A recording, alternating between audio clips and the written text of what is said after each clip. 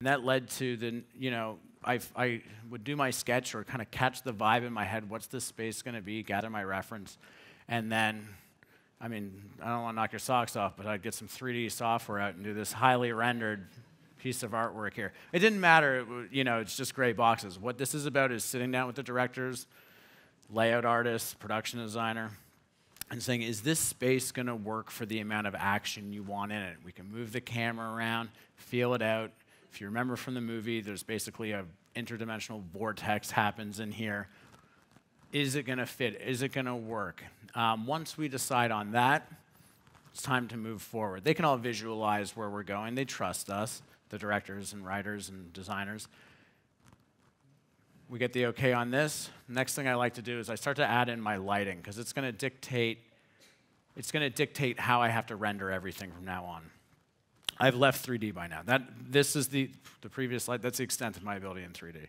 Boxes, and then I can like Google a toilet, and I'll put the toilet in. So we get the color in.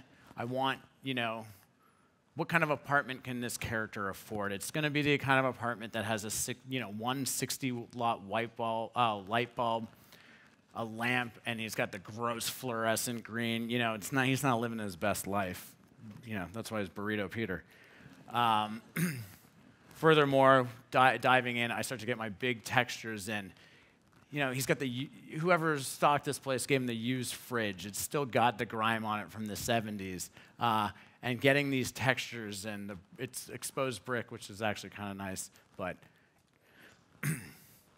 next step is to add, the, you know, the, some of the details. He strikes Peter Parker, Spider-Man strikes me as a guy who something about that red and blue shower curtain just jumps out to him. Right? He's gonna get that. He's got all his boxes in there.